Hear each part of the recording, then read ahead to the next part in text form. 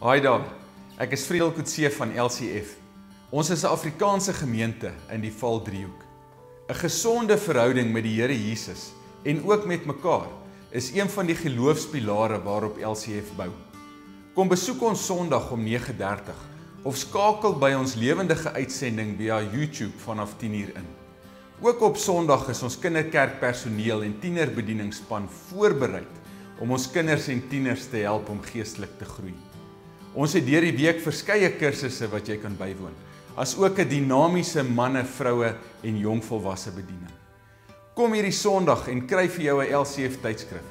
Daarin gaan jy baie meer inligting kry oor wat alles deur die loop van die jaar by LCF gaan gebeur. sien jou binnekort.